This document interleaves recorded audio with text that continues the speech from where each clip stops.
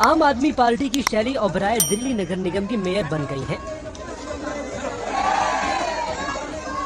उन्होंने भाजपा की रेखा गुप्ता को चौंतीस वोटों से हरा दिया। राजधानी दिल्ली को 10 साल के बाद महिला मेयर मिली है। चुनाव में कुल 241 पार्षदों ने वोटिंग की।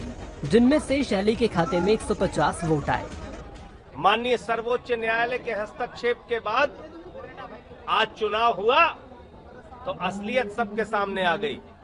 150 वोट आम आदमी पार्टी के पक्ष में, सैली ओबराय के पक्ष में पड़ा। वहीं कांग्रेस के नौ पार्षदों ने चुनाव का बहिष्कार किया था।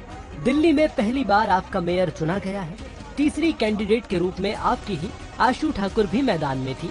हालाँकि इससे पहले आप और भाजपा के हंगामे के चलते तीन बार चुनाव रद्द हो चुके थे।